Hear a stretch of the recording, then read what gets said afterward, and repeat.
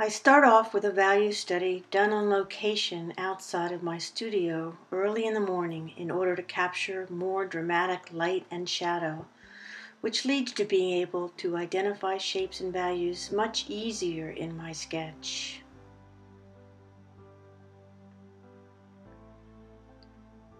My value studies are done with grayscale markers. I use the Dick Blick brand number 2, number 4, number 6, and number 10.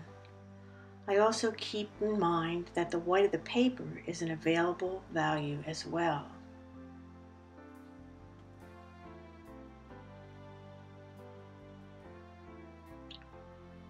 I am using an inexpensive Canson mixed media sketchbook for my value studies.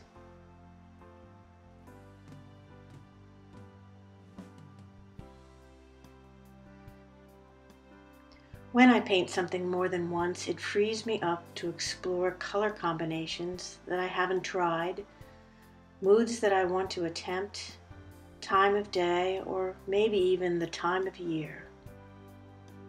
It allows room for experimentation and growth because we are less attached to the outcome of the single painting. It becomes less precious if we know we have other drawings waiting for paint each painting then growing from what did or didn't work with the last brushstroke.